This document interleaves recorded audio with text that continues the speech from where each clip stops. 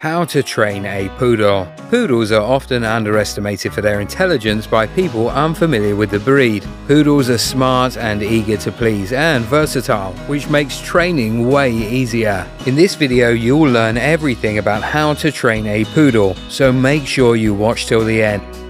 And if you're looking for a new puppy for your family, Puppy Spot is the best place. Click on the links in the description to find out more about Puppy Spot. Training a poodle means more than having him or her come to you when you call. There are certain steps you need to follow when training a poodle. But firstly, let's start by what you need to start training a poodle. Training your poodle should begin right from when he comes home with you.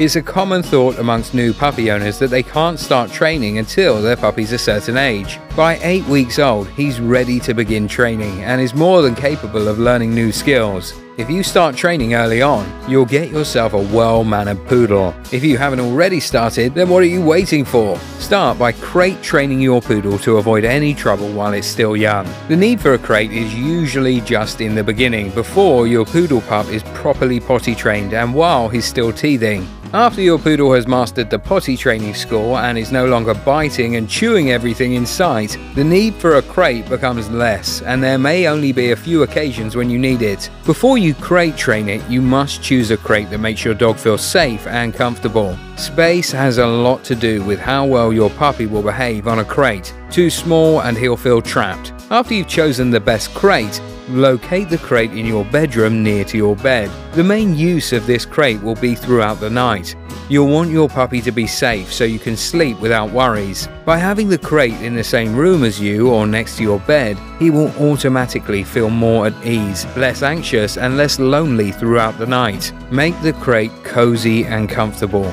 The crate should feel like a den to your puppy. To make it more den-like, you should place a warm, soft comfort blanket inside at one end. After your crate is located properly and you've made all the necessary adjustments to the crate, continue by introducing your poodle to the crate. Have your crate door open and bring your puppy into the same room and let him inspect the crate at his own pace. At this very initial stage, do not urge him to go inside. Allow him to sniff around and get familiar with the presence of the crate. Start using the word crate whenever he gets near to or interacts with the crate. Spend at least 10 minutes like this. After spending some time around the crate, it's time for your pup to go inside. You should sit down next to the crate and encourage him to enter by using your hand and toys. Once he has entered the crate, give him his favorite treat. Repeat this process until your dog stays in the crate for at least a minute. While he stays in the crate, try and keep him there with toys, games, and treats. After you've done these first two steps several times, You'll want to now close the door when your pup enters. Offer another treat through the crate to distract him from the action of closing the door. Stay there beside the crate. By this stage, your puppy should be comfortable with the crate and not see or associate it with any negative thoughts. You can now use the crate to ensure that your puppy doesn't run into messes. Moreover, this will serve a great deal whilst you're driving with your dog. The crate is there to ensure your dog's safety. Crate training is there to introduce your dog to basic obedience training. After you've successfully completed it, asserting dominance is essential. It's important to let your new puppy know that you are in charge of making and enforcing the rules. There's no need to be loud or aggressive with your dog. This will make your poodle respect you. Instead, keep your demeanor calm as you kindly and firmly tell your pup that you are in charge. One of the most important things that your poodle needs to learn is how not to bite. Many people find it surprising that this cute breed is capable of biting. However, the poodle, by nature, is an aggressive chewer. He'll love to bite and chew things not just when he's a puppy, but throughout his adult life too. When he's a puppy, it's nearly always down to the teething process. This is the process of your puppy gaining his baby teeth, losing those baby teeth, and then lastly, gaining his adult teeth. There are four steps you can follow to teach your poodle not to bite. The first step is intervening. Once your puppy starts biting something he shouldn't, the first thing you need to do is to intervene. The goal is to startle him and take his attention away from what he's biting. Raise your voice slightly and in a firm tone, call his name. The second step is to inform your poodle. The point of this step is to start teaching your puppy what no means. So, once you gain the attention after calling his name, you should firmly and in a slightly raised voice say no. The point is to build an association between what they should not be doing and the word no.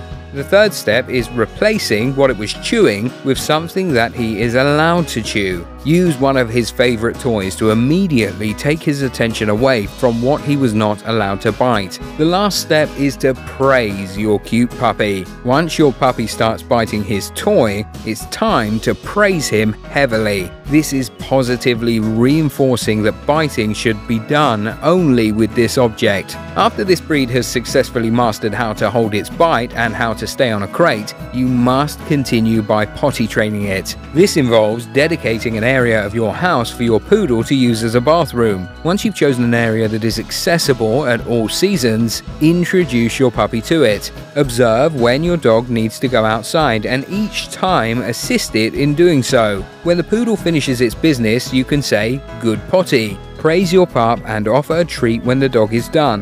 Then play with him. In time, your dog will learn that good potty means to eliminate and you'll be able to tell your poodle where and when to go. Teach your poodle to sit, lay down, and follow other commands. Teaching your poodle how to sit, lay down, come, and follow your directions is mostly just a matter of patience and consistency. It will take him some time to learn the terms and what they mean, but once your dog does, expect it to follow your commands. It's significant that you always associate your command with a reward. This will incentivize your poodle to repeat the same behavior. Besides offering its favorite treats, a poodle is that kind of breed that appreciates affection, praise, happy talk, or a simple good dog may be the best type of reward there is for a poodle. For example, if you teach your dog to sit down with a click, followed by a treat, you can add in good dog as you deliver the treat. Soon, your dog will learn to associate that happy praise with the treat or tug, and